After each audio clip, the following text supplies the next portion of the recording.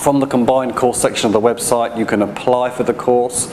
The application is free um, and no obligation. It'll only take a few minutes to fill in also. Um, you'll likely be accepted onto the course um, within a few hours.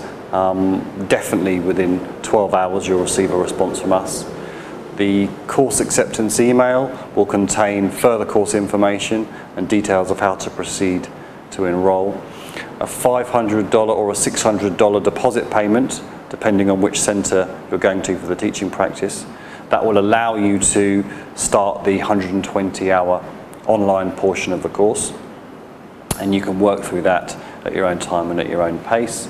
Um, then towards the end of the online course, you can confirm with us which course dates you would like to attend um, for the teaching practice. Um, accommodation um, is provided, as mentioned before, and also transfers from a local airport or bus station to the training centre are included in the course fees uh, for most locations.